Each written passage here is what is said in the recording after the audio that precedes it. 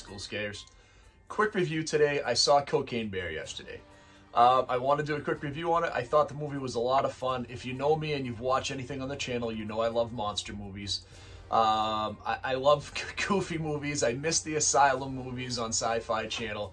Uh, this is a throwback, fun, old school, goofy horror comedy. I saw the reviews. It's actually done fairly well on Rotten Tomatoes. It's got like a 70% audience score.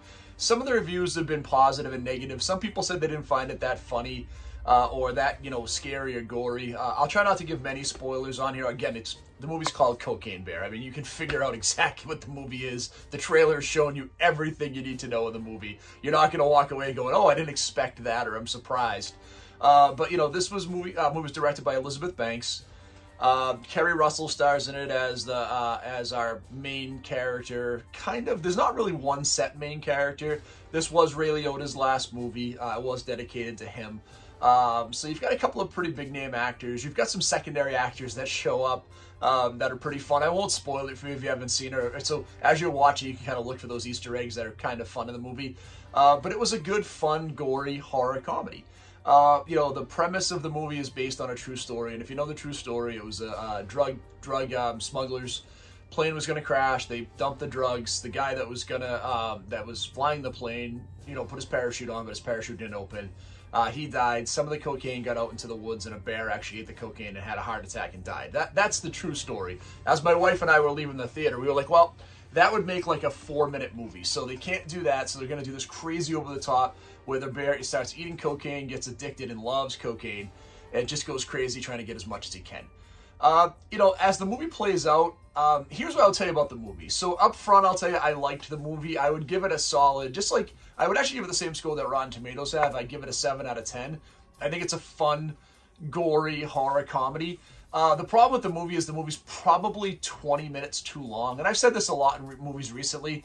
We're stretching movie times out. I mean, again, a movie called Cocaine Bear does not need to be two hours long. There's no reason for this movie to be as long as it is. And there are some parts in the middle um, where they're doing some character development. They're trying to have some fun with the story that, while don't detract from the movie, definitely could have been briefer uh, and could have gotten to the point a little bit quicker. So, you know, when you're watching the movie, kind of keep that in mind. But, you know, there were genuine parts where I laughed out loud and where the audience laughed out loud with me, which I thought was great. Uh, it's always fun being in a live studio, uh, live studio, in a live theater with everybody else, and they're all having fun. Uh, which was this, which was what this movie was. Everyone was having a good time. The theater was pretty full. This was the first movie I've seen with a full theater since Smile, uh, and I enjoyed it quite a bit. Uh, you know, the pros in the movie. Uh, there's some good, good gore in the movie. Uh, unexpected gore, like stuff that comes out of nowhere. Uh, that's really gory. When when my wife and I were talking when we left, the thing with this movie is there's like pockets of gore, and then nothing happens for a really long time, and then another brief pocket of gore. Um, so that's probably the main demerit of the movie is it's um, like I said, it, it's it starts and stops quite a bit. There's there's dialogue, there's you know story setup, then there's this really quick pocket of gore, dialogue, story setup, really big pocket of gore, uh, and then you kind of fall through the same thing. The other thing with this movie that drives me crazy, with a ton of movies, is the trailer gave away almost everything in this movie. Like almost everything you're going into that and you're looking for the big set pieces in the trailer, and that's what you were finding in the movie. The stuff you saw in the trailer and said, "Oh, I'm looking for this part to pop up," you 100% were looking for. It was there.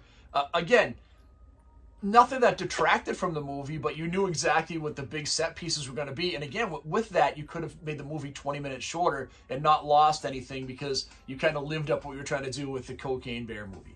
So like I said, overall a fun movie. Would I recommend it? Absolutely. If you love horror comedy, if you don't mind a good gory movie and you want to have a little bit of fun uh, on an afternoon and kill two hours in the winter, it was snowing out yesterday. My wife and I went and enjoyed it. We went to the Lux level, had a nice burger, watched the movie, had a great time. So heck yeah, I'd recommend Cocaine Bear. Go and see it. Have a lot of fun with it. Uh, I can't believe Asylum actually is making a movie called like Meth Gator to kind of tie into this, which I, I am so looking forward to as someone who loved like Grizzly and Alligator and then all the Mega Shark versus Giant Alligator movies. Love them. Lake Placid. Uh, if you're going to give me a giant monster movie or a ridiculous monster movie, I'm all in. I can't wait to go see it. Uh, as always, everybody, if you haven't done so so far, please hit that like and subscribe button and stay scary.